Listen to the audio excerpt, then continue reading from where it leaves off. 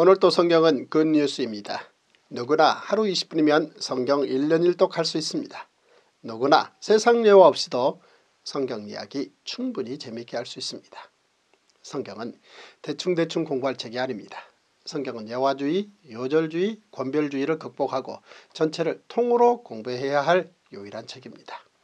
먼저 오늘의 굿뉴스 장세기 42장에서 44장의 통습 5가지 포인트입니다.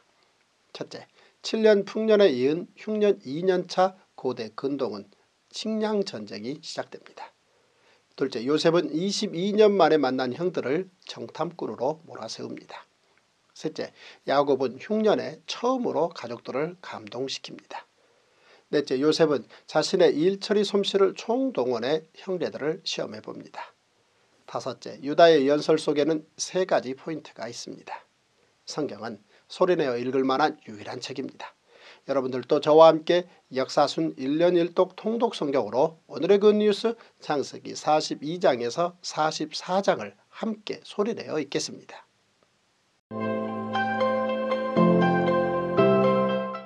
제15일 창세기 42장 그때 야곱이 애굽에 곡식이 있음을 보고 아들들에게 이르되 너희는 어찌하여 서로 바라보고만 있느냐 야곱이 또 이르되 내가 들은즉 저 애굽에 곡식이 있다 하니 너희는 그리로 가서 거기서 우리를 위하여 사오라.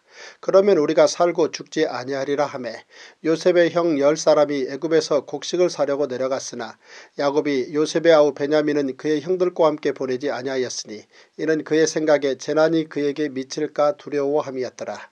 이스라엘의 아들들이 양식 사러 간 자 중에 있으니 가나안 땅에 기근이 있습니다. 때 요셉이 나라의 총리로서 그 땅 모든 백성에게 곡식을 팔더니 요셉의 형들이 와서 그 앞에서 땅에 엎드려 절하매 요셉이 보고 형들인 줄을 아나 모르는 체하고 엄한 소리로 그들에게 말하여 이르되 너희가 어디서 왔느냐 그들이 이르되 곡물을 사려고 가나안에서 왔나이다.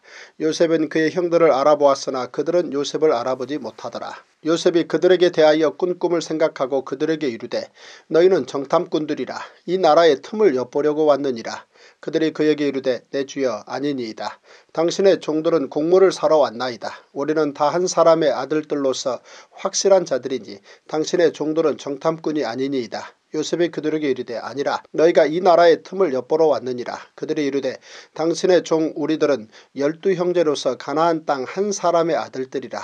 막내 아들은 오늘 아버지와 함께 있고 또 하나는 없어졌나이다. 요셉이 그들에게 이르되 내가 너희에게 이르기를 너희는 정탐꾼들이라 한 말이 이것이니라. 너희는 이같이 하여 너희 진실함을 증명할 것이라.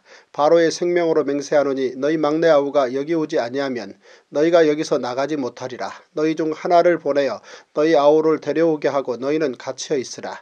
내가 너희의 말을 시험하여 너희 중에 진실이 있는지 보리라. 바로의 생명으로 맹세하노니 그리하지 아니하면 너희는 과연 정탐꾼이니라 하고 그들을 다 함께 3일을 가두었더라. 사흘 만에 요셉이 그들에게 이르되 나는 하나님을 경외하노니 너희는 이같이 하여 생명을 보존하라.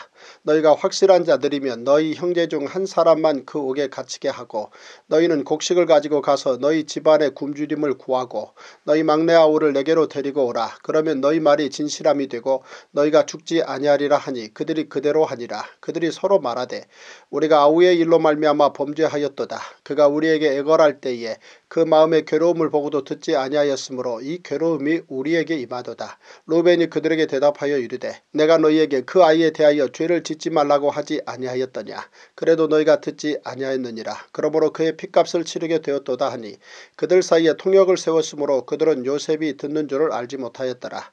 요셉이 그들을 떠나가서 울고 다시 돌아와서 그들과 말하다가 그들 중에서 시므온을 끌어내어 그들의 눈앞에서 결박하고 명하여 곡물을 그 그릇에 채우게 하고 각 사람의 돈은 그의 자루에 도로 넣게 하고 또 길 양식을 그들에게 주게 하니 그대로 행하였더라. 그들이 곡식을 나귀에 싣고 그곳을 떠났더니 한 사람이 여관에서 나귀에게 먹이를 주려고 자루를 풀고 본즉 그 돈이 자루 아귀에 있는지라. 그가 그 형제에게 말하되 내 돈을 도로 넣었도다. 보라 자루 속에 있도다. 이에 그들이 혼이 나서 떨며 서로 돌아보며 말하되 하나님이 어찌하여 이런 일을 우리에게 행하셨는가 하고 그들이 가나안 땅에 돌아와 그들의 아버지 야곱에게 이르러 그들이 당한 일을 자세히 알리어 아뢰되 그 땅의 주인인 그그 사람이 엄하게 우리에게 말씀하고 우리를 그 땅에 대한 정탐꾼으로 여기기로 우리가 그에게 이르되 우리는 확실한 자들이요 정탐꾼이 아니니이다.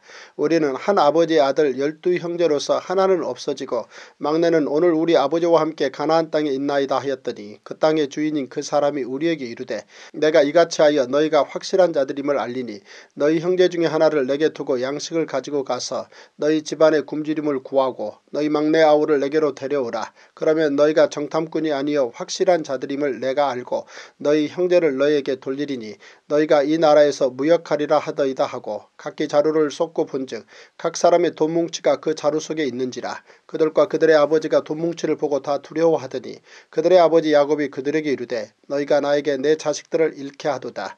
요셉도 없어졌고 시므온도 없어졌거를 베냐민을 또 빼앗아 가고자 하니 이는 다 나를 해롭게 함이로다. 루벤이 그의 아버지에게 말하여 이르되 내가 그를 아버지께로 데리고 오지 아니하거든 내 두 아들을 죽이소서 그를 내 손에 맡기소서 내가 그를 아버지께로 데리고 돌아오리이다. 야곱이 이르되 내 아들은 너희와 함께 내려가지 못하리니 그의 형은 죽고 그만 남았습니다. 만일 너희가 가는 길에서 재난이 그에게 미치면 너희가 내 흰머리를 슬퍼하며 수월로 내려가게 함이 되리라. 창세기 43장 그 땅에 기근이 심하고 그들이 애굽에서 가져온 곡식을 다 먹음에 그 아버지가 그들에게 이르되 다시 가서 우리를 위하여 양식을 조금 사오라. 유다가 아버지에게 말하여 이르되 그 사람이 우리에게 엄히 경고하여 이르되 너희 아우가 너희와 함께 오지 아니하면 너희가 내 얼굴을 보지 못하리라 하였으니 아버지께서 우리 아우를 우리와 함께 보내시면 우리가 내려가서 아버지를 위하여 양식을 사려니와 아버지께서 만일 그를 보내지 아니하시면 우리는 내려가지 아니하리니 그 사람이 우리에게 말하기를 너희 아우가 너희와 함께 오지 아니하면 너희가 내 얼굴을 보지 못하리라 하였음이니이다. 이스라엘이 이르되 너희가 어찌하여 너희에게 또 다른 아우가 있다고 그 사람에게 말하여 나를 괴롭게 하였느냐? 그들이 이르되 그 사람이 우리와 우리의 친족에 대하여 자세히 질문하여 이르기를 너희 아버지가 아직 살아계시느냐? 너희에게 아우가 있느냐? 하기로 그 묻는 말에 따라 그에게 대답한 것이니 그가 너희의 아우를 데리고 내려오라 할 줄을 우리가 어찌 알았으리이까? 유다가 그의 아버지 이스라엘에게 이르되 저 아이를 나와 함께 보내시면 우리가 곧 가리니 그러면 우리와 아버지와 우리 어린 아이들이 다 살고 죽지 아니하리이다. 내가 그를 위하여 담보가 되오리니 아버지께서 내 손에서 그를 찾으소서. 내가 만일 그를 아버지께 데려다가 아버지 앞에 두지 아니하면 내가 영원히 죄를 지리이다. 우리가 지체하지 아니하였더라면 벌써 두 번 갔다 왔으리이다. 그들의 아버지 이스라엘이 그들에게 이르되 그러할진대 이렇게 하라. 너희는 이 땅의 아름다운 소산을 그릇에 담아가지고 내려가서 그 사람에게 예물로 드릴지니 곧 유향 조금과 꿀 조금과 향품과 몰약과 유향나무 열매와 감 복숭아니라 너희 손에 갑절의 돈을 가지고 너희 자루 아귀에 도로 넣어져 있던 그 돈을 다시 가지고 가라. 혹 잘못이 있었을까 두렵도다. 내 아우도 데리고 떠나 다시 그 사람에게로 가라. 전능하신 하나님께서 그 사람 앞에서 너희에게 은혜를 베푸사 그 사람으로 너희 다른 형제와 베냐민을 돌려보내게 하시기를 원하노라. 내가 자식을 잃게 되면 이리로다. 그 형제들이 예물을 마련하고 갑절의 돈을 자기들의 손에 가지고 베냐민을 데리고 애굽에 내려가서 요셉 앞에 서니라. 요셉은 베냐민이 그들과 함께 있음을 보고 자기의 청지기에게 이르되 이 사람들을 집으로 인도해 드리고 짐승을 잡고 준비하라. 이 사람들이 정오에 나와 함께 먹을 것이니라. 청지기가 요셉의 명대로 하여 그 사람들을 요셉의 집으로 인도하니 그 사람들이 요셉의 집으로 인도됨에 두려워하여 이르되 전번에 우리 자루에 들어있던 돈의 일로 우리가 끌려드는도다. 이는 우리를 억류하고 달려들어 우리를 잡아 노예로 삼고 우리의 나귀를 빼앗으려 함이로다 하고 그들이 요셉의 집 청지기에게 가까이 나아가 그 집 문 앞에서 그에게 말하여 이르되 내 주여 우리가 전번에 내려와서 양식을 사가지고 여관에 이르러 자루를 풀어본즉 각 사람의 돈이 전액 그대로 자루 아귀에 있기로 우리가 도로 가져왔고 양식 살 다른 돈도 우리가 가지고 내려왔나이다. 우리의 돈을 우리 자루에 넣은 자는 누구인지 우리가 알지 못하나이다. 그가 이르되 너희는 안심하라 두려워하지 말라. 너희 하나님 너희 아버지의 하나님이 재물을 너희 자루에 넣어 너희에게 주신 것이니라. 너희 돈은 내가 이미 받았느니라 하고 시므온을 그들에게로 이끌어내고 그들을 요셉의 집으로 인도하고 물을 주어 발을 씻게 하며 그들의 나귀에게 먹이를 주더라. 그들이 거기서 음식을 먹겠다 함을 들었으므로 예물을 정돈하고 요셉이 정오에 오기를 기다리더니 요셉이 집으로 오매 그들이 집으로 들어가서 예물을 그에게 드리고 땅에 엎드려 절하니 요셉이 그들의 안부를 물으며 이르되 너희 아버지 너희가 말하던 그 노인이 안녕하시냐? 아직도 생존해 계시느냐? 그들이 대답하되 주의 종 우리 아버지가 평안하고 지금까지 생존하였나이다 하고 머리 숙여 절하더라. 요셉이 눈을 들어 자기 어머니의 아들 자기 동생 베냐민을 보고 이르되 너희가 내게 말하던 너희 작은 동생이 이 아이냐? 그가 또 이르되 소자여 하나님이 내게 은혜 베푸시기를 원하노라 요셉이 아우를 사랑하는 마음이 복받쳐 급히 울 곳을 찾아 안방으로 들어가서 울고 얼굴을 씻고 나와서 그 정을 억제하고 음식을 차리라 하매 그들이 요셉에게 따로 차리고 그 형제들에게 따로 차리고 그와 함께 먹는 애굽 사람에게도 따로 차리니 애굽 사람은 히브리 사람과 같이 먹으면 부정을 입음이었더라. 그들이 요셉 앞에 앉되 그들의 나이에 따라 앉히게 되니 그들이 서로 이상히 여겼더라. 요셉이 자기 음식을 그들에게 주되 베냐민에게는 다른 사람보다 다섯 배나 주매 그들이 마시며 요셉과 함께 즐거워하였더라. 창세기 44장 요셉이 그의 집 청지기에게 명하여 이르되 양식을 각자의 자루에 운반할 수 있을 만큼 채우고 각자의 돈을 그 자루에 넣고 또 내 잔 곧 은잔을 그 청년의 자료 아귀에 넣고 그 양식값 돈도 함께 넣으라 하매 그가 요셉의 명령대로 하고 아침이 밝을 때에 사람들과 그들의 나귀들을 보내니라. 그들이 성읍에서 나가 멀리 가기 전에 요셉이 청지기에게 이르되 일어나 그 사람들의 뒤를 따라가서 그들에게 이르기를 너희가 어찌하여 선을 악으로 갚느냐 이것은 내 주인이 가지고 마시며 늘 점치는 데에 쓰는 것이 아니냐 너희가 이같이 하니 악하도다 하라. 청지기가 그들에게 따라가서 그대로 말하니 그들이 그에게 대답하되 내 주여 어찌 이렇게 말씀하시나이까 당신의 종들이 이런 일은 결단코 아니하나이다. 우리 자루에 있던 돈도 우리가 가나안 땅에서부터 당신에게로 가져왔거늘 우리가 어찌 당신의 주인의 집에서 은금을 도둑질하리이까 당신의 종들 중 누구에게서 발견되든지 그는 죽을 것이요 우리는 내 주의 종들이 되리이다. 그가 이르되 그러면 너희의 말과 같이 하리라. 그것이 누구에게서든지 발견되면 그는 내게 종이 될 것이요 너희는 죄가 없으리라. 그들이 각각 급히 자루를 땅에 내려놓고 자루를 각기 푸니 그가 나이 많은 자에게서부터 시작하여 나이 적은 자에게까지 조사하며 그 잔이 베냐민의 자리에서 발견된지라. 그들이 옷을 찢고 각기 짐을 나귀에 싣고 성으로 돌아가니라. 유다와 그의 형제들이 요셉의 집에 이르니 요셉이 아직 그곳에 있는지라. 그의 앞에서 땅에 엎드리니 요셉이 그들에게 이르되 너희가 어찌하여 이런 일을 행하였느냐. 나 같은 사람이 점을 잘 치는 줄을 너희가 알지 못하였느냐. 유다가 말하되 우리가 내 주께 무슨 말을 하오리이까 무슨 설명을 하오리이까 우리가 어떻게 우리의 정직함을 나타내리이까 하나님이 종들의 죄악을 찾아내셨으니 우리와 이 잔이 발견된 자가 다 내 주의 노예가 되겠나이다. 요셉이 이르되 내가 결코 그리하지 아니하리라. 찬이 그 손에서 발견된 자만 내 종이 되고 너희는 평안히 너희 아버지께로 도로 올라갈 것이니라. 유다가 그에게 가까이 가서 이르되 내 주여 원하건대 당신의 종에게 내 주의 귀에 한 말씀을 아뢰게 하소서 주의 종에게 노하지 마소서 주는 바로와 같으심이니이다.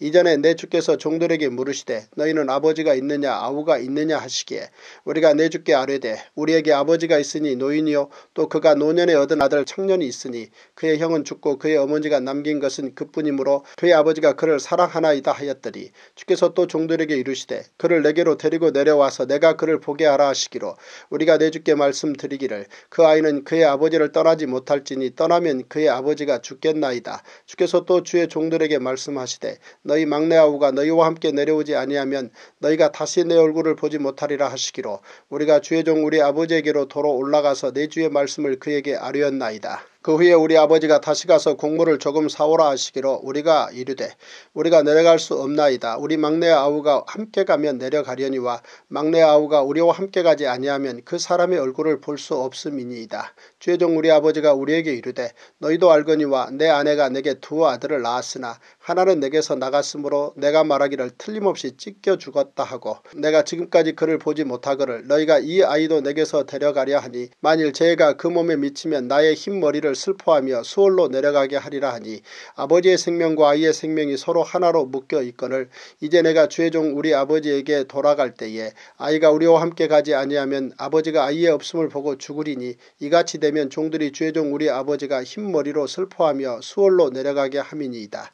주의 종이 내 아버지에게 아이를 담보하기를 내가 이를 아버지께로 데리고 돌아오지 아니하면 영영이 아버지께 죄짐을 지리이다 하였사오니 이제 주의 종으로 그 아이를 대신하여 머물러 있어 내 주의 종이 되게 하시고 그 아이는 그의 형제들과 함께 올려 보내소서 그 아이가 나와 함께 가지 아니하면 내가 어찌 내 아버지에게로 올라갈 수 있으리이까 두렵건대 제가 내 아버지에게 미침을 보리이다.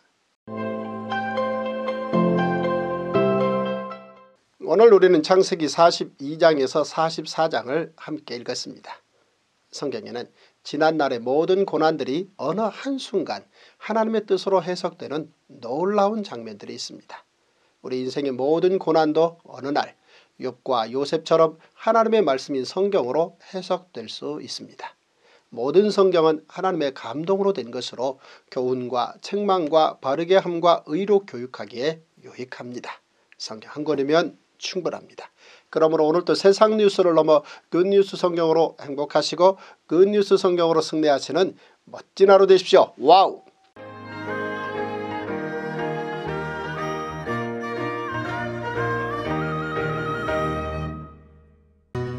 안녕하십니까 2020년 3월 목회자를 위한 39기 통성경 렉처러 코스를 준비하고 있습니다. 목사님 사모님들을 위한 통성경 지도자 과정입니다. 3월 2일 월요일부터 4일 수요일까지 3월 9일 월요일부터 11일 수요일까지 총 6일에 걸쳐 통성경 방법론에 따른 성경 전체 스토리와 각 교회에서 통성경 학교를 개설할 수 있는 방법과 노하우를 제공할 것입니다.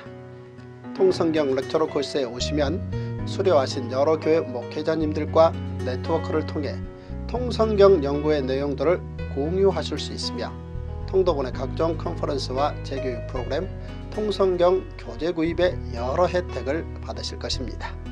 1차 등록일은 2월 14일입니다. 자세한 문의는 저희 통독원으로 전화 주십시오. 전국의 목회자님들과 성경 한 권이면 충분하다는 고백을 함께 나누기를 소망하며 3월에 뵙기를 기대하겠습니다. 감사합니다.